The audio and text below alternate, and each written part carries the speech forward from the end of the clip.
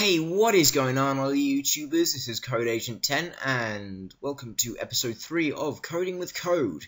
And today I'm going to show you how to create a very simple timer effect using Notepad. So the first thing you're going to want to do is you want to get your Notepad ready here. You want to open it up. Um, and then you want to encrypt the code. I am not going to waste your time typing it all in. I'm literally just going to copy and paste it all in all of this will be in the description below. So if you want to just open up Notepad and copy and paste it all in, feel free to do so. Um, now I'm just going to quickly show you how to save it. So basically what you want to do is you want to go into File, go to Save As, select a particular document or file, whatever that you want to save it in. Uh, I've got it all on desktop because I don't want to go into my files and then you're just going to want to name it. So you want to go, I'm just going to type in as um, countdown. If I can spell it right, as I can. And then you want to just go and type in dot bat bat. You must always have dot bat at the end of the file name so that it saves it as a bat file and so that the timer can actually operate correctly.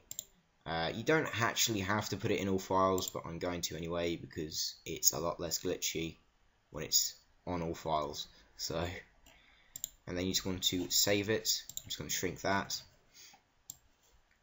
Uh, and then you just want to open it up. Please click any key to continue to start the countdown. Starting countdown.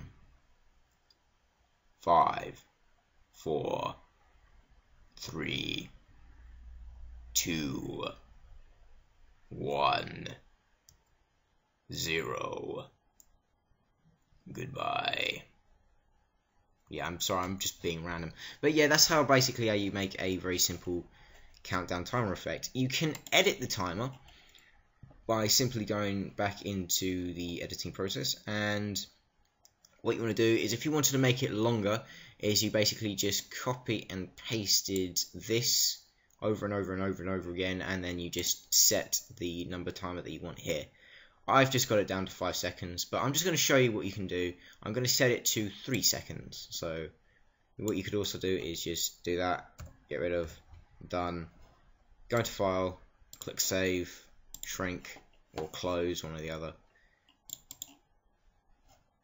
Open you back up, enter, starting countdown. And there you go it's been set down to three seconds instead of five seconds and you can just kind of do stuff like that. So yeah it's very simple. Um, if you found this tutorial helpful then please leave a like down below as it really does help me out. And if you could click that subscribe button as well again that would really help me out and it's free so you might as well. Uh, check out a few of my other videos as well. If you're if you're new to my channel or whatnot yeah please feel free to check out some of my vids. Um, lately I've been making a lot more of these kind of notepad stuff and I will continue to make a lot of notepad stuff. So yeah, if you're interested in that then yeah, click the subscribe button. And uh, well, this is Code Agent 10, sign off. See you later YouTubers.